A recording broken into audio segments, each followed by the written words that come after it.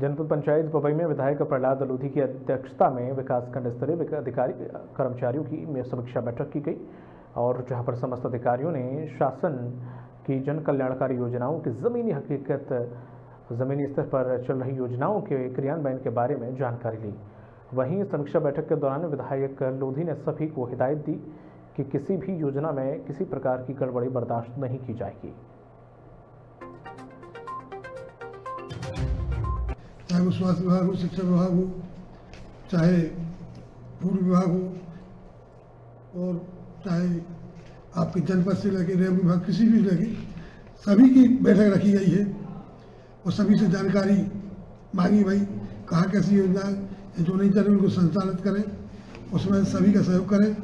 और हमारे देश के यशस्वी प्रधानमंत्री आदरणीय नरेंद्र मोदी जी की गरीबों की जो योजना है, प्रदेश के यशस्वी मुख्यमंत्री आदरणीय शिवराज सिंह की जो योजना है, वो जमीनी तक ये पहुँचना चाहिए। वो हर गरीब को इसका लाभ मिले।